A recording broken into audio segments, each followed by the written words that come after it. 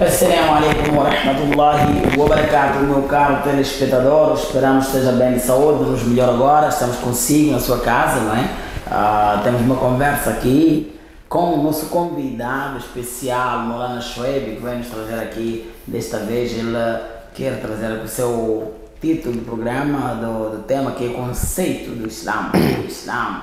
Muita gente, quando escuta de uma forma, linguagem etimológica, e ele diz que não, o Islã é aquilo. Então, ele está trazendo seu conceito aqui para interpretar ao nosso colega telespectador ali em casa e vai nos trazer ainda mais aqui nós podemos chamar de muçulmano, porque cada um está à procura deste nome ser chamado de muçulmano, e vai nos trazer mais provas alcorânicas e comentários doutrinários do profeta Muhammad sallallahu. E neste tom vamos falar, uh, seja Bem-vindo nesta casa, sua casa, o nosso convidado residente, Molana. Nós hoje queremos falar ou ter interpretar esse tema aos nossos convidados, conceito do Islã. O que é este vídeo? Bismillahirrahmanirrahim, nahmaduhu wa nusalli ala rasulihil karim amma ba'd. Uh, em primeiro lugar, agradecer o convite e, em segundo lugar, cumprimentar todos uh, os que têm nos assistido, têm acompanhado o nosso programa e indo diretamente ao ponto sobre o conceito de Islã. Se nós formos a ver de uma maneira assim simplificada, Islã o que é? Islã é submissão. Se nós formos reparar no Corão, Surah Al-Baqarah, Allah diz: إذ قال له ربه أسلم. Então aqui Allah está a dizer para o seu mensageiro: Aslim, submeta-se. Então, neste, neste, neste ayat, a palavra Aslim é submissão. Submissão é o quê? Então, Islã é submissão na totalidade às ordens de Allah subhanahu wa ta'ala. Então, quando a pessoa submete-se às ordens de Allah subhanahu wa ta'ala, so Islã em si é submissão voluntária às ordens de Allah subhanahu wa ta'ala. Isso a pessoa o que? A pessoa entregar-se à ordem de Allah subhanahu wa ta'ala. Então, a palavra Islã encontramos como submissão. E submissão o que é? a pessoa, é que nem um contrato, contratar-se, entregar-se, oferecer-se voluntariamente para quê? A uma certa, a uma certa ordem ou a, a, como chama, a um certo currículo. Então, aqui o Islã é submissão na totalidade das ordens de Allah subhanahu wa ta'ala. Estamos a falar, estamos a falar do, do, da lei, do conceito islâmico. Exatamente, sim. Então, se falamos do Islã, é entregar-se ou uh, submeter-se submeter à vontade de Allah, esta, essa submissão é obrigatória? Como é que é? É uma submissão voluntária. Voluntária? Sim, a submissão Porque é voluntária. Há sim. muita gente que é antirreligiosos ou não muçulmanos que andam a dizer que o Islã é uma religião que foi propagada através da espada. Eh, Quando fala da espada, como quem diz, uma coisa forçosa. Sim, sim. É uma coisa forçosa ser coagido. Mas estou a perceber como Molana a dizer que é uma submissão voluntária. Sim, é uma submissão voluntária. Noutra, noutra parte do Corão, ela diz La ikraha fi din. Não há imposição. Não, não se esforça ninguém a tornar-se muçulmano. Então, para aquele que Sim. diz que o Islã é uma imposição, Então ele está, exatamente, estará a condizer o Corão e ele, infelizmente, está a falar sem, sem, sem conhecimento. De, Sem conhecimento. Sim, exatamente. Agora, quem nós podemos chamar de muçulmano? Exatamente. Quem nós podemos chamar de muçulmano? Então aqui, muçulmano, como já havia explicado no, no, no- como chama, na, resposta anterior, que como Islã é submissão, é entregar-se, é oferecer-se voluntariamente às ordens de Allah subhanahu wa ta'ala, então só é chamado de muslim, muçulmano, aquele que se entrega a Allah subhanahu wa ta'ala, aquele que submete às ordens de Allah subhanahu wa ta'ala. Então, se por exemplo, nós dissemos para alguém assim que alguém diz que eu sou muçulmano, sou muçulmano, tudo bem, és muçulmano, mas se você vem para a pessoa e diz para ele que meu irmão, no Islã, no Corão, Allah subhanahu wa ta'ala proíbe a bebida alcoólica. Proíbe a música, por exemplo. Então, se a pessoa diz, diz assim que eu para mim não é muito fácil deixar esse hábito, e eu para mim não é muito fácil deixar música, porque é algo que está dentro de mim, não tenho como deixar. Então, infelizmente, o título do, de Islã para esse indivíduo ainda não está dentro dele. Então, por isso nós vamos ver que é, no momento em que a gente vive, muitas acusações são feitas para quem? Para os muçulmanos que muçulmano é aquilo, muçulmano está tá dentro do, de que terrorismo. Isso a que se deve? Deve-se à fraqueza do próprio muçulmano.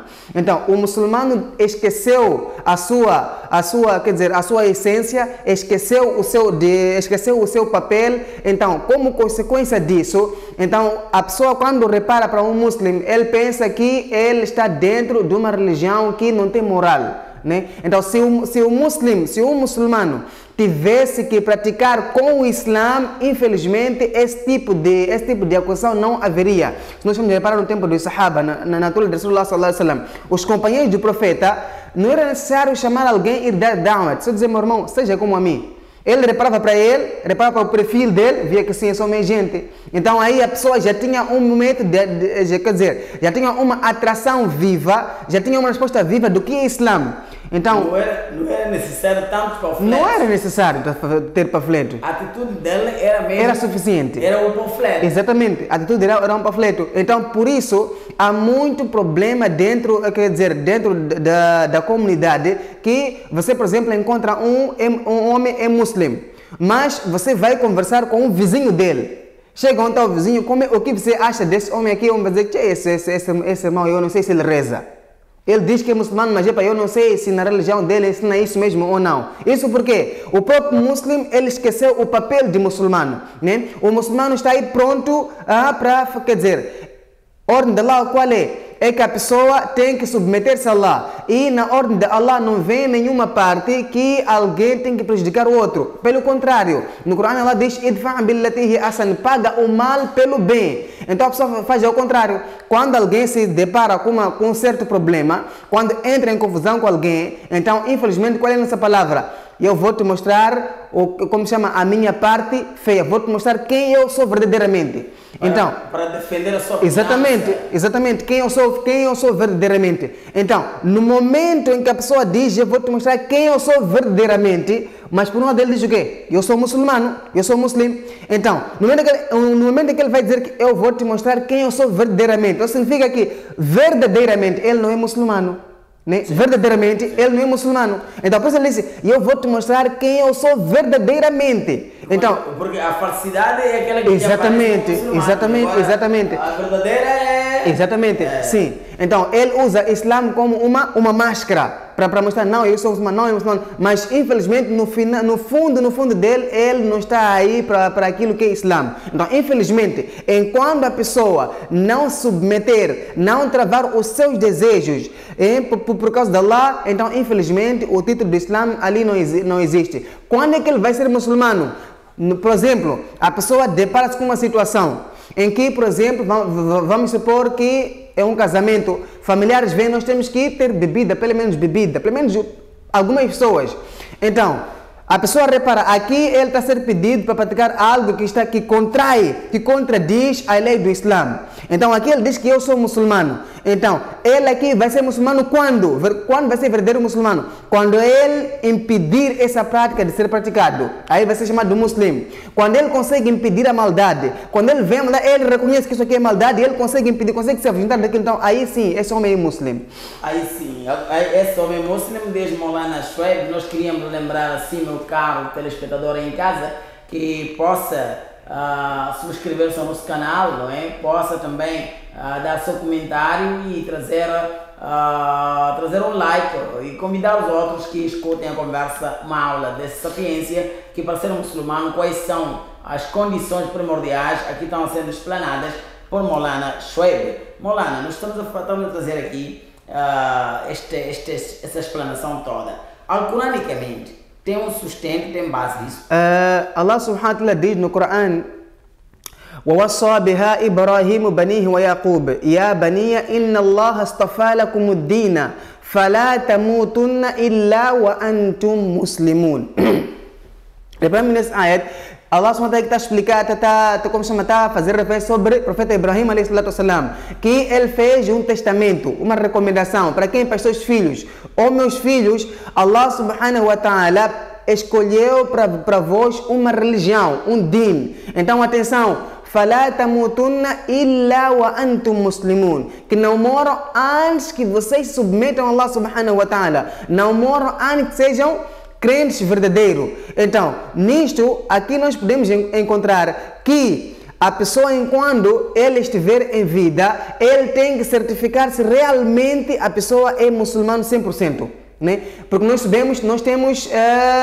muçulmanos e temos aqueles que são chamados de hipócrita então, a hipocrisia é o quê? A pessoa aparenta ser uma coisa e quando no fundo ele esconde uma coisa contrária. Então, nisto, se a pessoa esconde ainda descrença por trás, por, por, como chama, por trás dele, no fundo dele ela esconde uma descrença. Então, uh, o profeta Muhammad sallallahu diz assim: لا tadkhulul الجنة حتى tu'minu". Você ninguém não entrará no Jannat a não ser que tragam iman verdadeiramente em Allah subhanahu wa ta'ala. "Wa la. E vocês nunca vão adquirir o verdadeiro iman a não ser que tenham amor um com o outro. Então, voltando para trás, não vamos entrar no Jannat a não ser que a gente tenha iman em Allah subhanahu wa ta'ala. O iman que está servido é um imã verdadeiro, não é um imã falso. Agora minha pergunta vem: se a pessoa tem um imã falso, um imã falso, então isso explica que a pessoa automaticamente aqui não entra neste hadith. No hadith ele não entra. Por quê? Porque a, a Rasulullah diz até que você crê em Allah subhanahu até que você acredite em, Allah subhanahu wa E o acreditar aqui é acreditar completo. Por isso lá no Corão, outra parte diz Udkhulu fi silmi kafa. Entre no Islã na totalidade. Não sigam os passos do shaitan. Então, a pessoa tem que entrar no, no, no Islã na totalidade. Então, aí sim a pessoa é, é, é, como chama, é considerada como, como muçulmano. Então, essa é uma parte do Corão, só que eu queria trazer como um, um, um pequeno. Eh, estamos aqui a estudar agora o comentário de Hadith de Rasulullah sallallahu alaihi wasallam, onde diz que uh, não sejais, uh, não entra no paraíso quem não é crente. Agora, qual é o papel de um pai e um filho muçulmano? Sim, uh, primeiro, quando nós falamos de, de como chama, de pai, vamos ver profeta, uh, profeta, profeta Ibrahim, salam, ele, como pai, como pai, ele recomenda seus filhos Recomenda seus filhos para quê? Para que eles não morram antes que eles se submetessem a Allah subhanahu wa ta'ala. Então, o papel do pai qual é? Deve ser de controlar, saber se meu filho fazer o possível, o máximo de pôr os filhos no caminho certo. E esse pôr o filho no caminho certo tem várias maneiras de pôr. Primeiro, tem em forma de conselho, o pai pode aconselhar o filho, né? Desde e esse conselho, essa educação começa a partir de criança. Infelizmente, a criança está a crescer no ambiente dos pais, mas quando atinge a idade de, de 14, 15, 16 anos, é nessa idade já onde o pai já começa a querer, uh, assusta já, epa, meu filho não, está no caminho, não, não está no caminho que ele deveria estar. Então, é nesse momento em que o pai já quer tentar fazer o esforço de tentar mudar o caminho do filho. Aí já fica um pouco complicado. Mas sim, a educação que o pai tem que dar ao filho, né, ele deve usar enquanto o filho ainda tem idade menor. O filho tem que crescer com aquela educação do Islã. Né? Então, isso começa quando? Quando a criança é pequena. Então, o profeta Ibrahim, ele mostrou o que é ser pai muçulmano. Mostrou o que é ser pai muçulmano. Meus filhos, vocês não podem morrer antes que sejam submissos a Allah subhanahu wa ta'ala. Então, o mesmo deve acontecer para nós, para, para nossos pais que os pais devem fazer acompanhamento, uh, como se chama, de, de, de, das duas partes, é claro, acompanhamento religioso, acompanhamento, como se chama, moral, tudo, aspecto do, do akhra, do dunya, tudo tem que ser, tem que moderar. Então, enquanto a criança é como se chama crescer nesse ambiente, então aí vai ser fácil da criança conseguir ter uma noção do que ele deve seguir. Essa é a primeira parte. Segunda parte, o pai tem que fazer doar. O pai deve fazer doar. Para quem? Para o filho, que, oh Allah, ele vai fazer esforço mas a decisão está na mão de Allah subhanahu wa ta'ala. Então o pai deve usar esse caminho para quê? Para conseguir pôr o seu filho no caminho, no caminho certo. O papel do filho. Reparemos, o profeta Ibrahim salam, quando disse para seu filho que eu sonhei quando eu estava degolar assim. Então o filho o que fez? O filho disse, tudo bem meu pai, se você se teve sonho, é ordem de Allah, cumpre a ordem de Allah subhanahu wa ta'ala. Então, o filho foi capaz, foi, quer dizer, foi capaz de conseguir atrair o seu pai, foi capaz de, eh, como chama, incentivar o seu pai para quê? Para o cumprimento das ordens de Allah subhanahu wa ta'ala. Então, quando é qual é o papel de um filho numa casa? Ele, o filho, quando tem uma boa educação, ele vai conseguir dizer para o pai que meu pai, isso que nós estamos a fazer aqui em casa não está correto. Papai, nós temos servidor, temos empregado em casa, já tem um ano, dois anos, três anos conosco, não é muslim. Então, infelizmente, nossa conduta aqui em casa não é, não, não é digna de elogio da, por parte dele, porque se isso fosse, ela já teria tornado-se muslim. Então, infelizmente, temos, eh, temos casa de muçulmano em que tem trabalhadores que não são muçulmanos, vivem lá nesse muito tempo. 15 anos, 10 anos, outros 5 anos, mas o trabalhador não consegue encontrar nada nessa família que possa atrair ele para quê? Para a adoração de Allah, para a submissão a Allah subhanahu wa ta'ala. Por quê? Porque normalmente em casa você vê ambiente de pai, ambiente de filho, ambiente de mãe, toda a família é um ambiente que vai contra as ordens de Allah subhanahu wa ta'ala.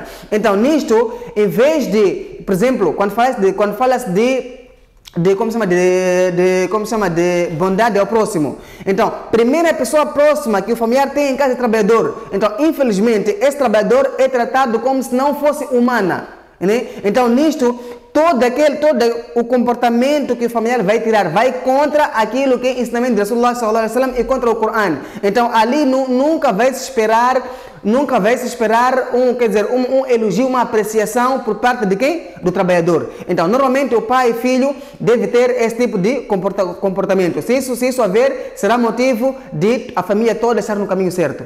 Será motivo de a família toda ficar estar no caminho certo. E agora, quais foram as recomendações do Nabi no Hijjat al-Wida? Profeta Muhammad sallallahu alaihi wasallam, último hajj, hajj da, da despedida, profeta Muhammad sallallahu alaihi wasallam estava montado no seu animal.